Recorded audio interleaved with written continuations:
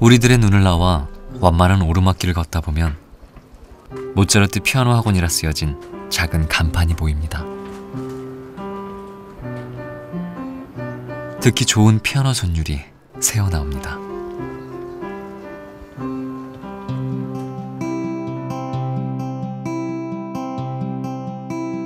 그 소리를 들으며 걷다 보면 코리아라고 적힌 붉은 벽돌의 굴뚝이 보입니다.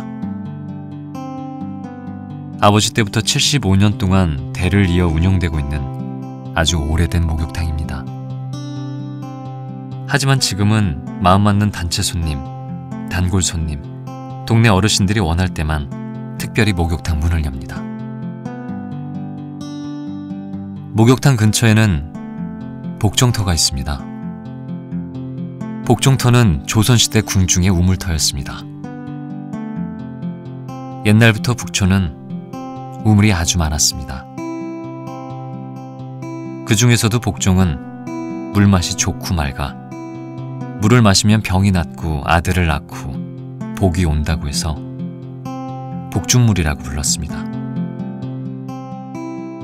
평상시에는 뚜껑에 자물쇠를 채우고 군인들로 하여금 지키게 했으나 대보름에 밥을 지어 먹으면 1년 내내 행운이 따른다 하여 그날만큼은 백성들도 물을 기를 수 있었습니다.